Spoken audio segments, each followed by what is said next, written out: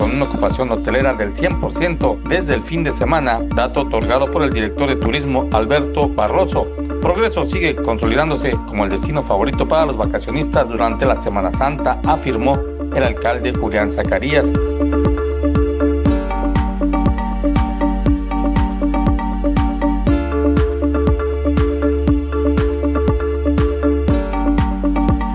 Es que desde el inicio del periodo vacacional, el pasado primero de abril, el puerto de Progreso ha recibido a miles de familias yucatecas nacionales y extranjeros en diversos puntos como el recién inaugurado Villa Pink Beach en Malecón tradicional del Museo del Meteorito y el Sendero Jurásico.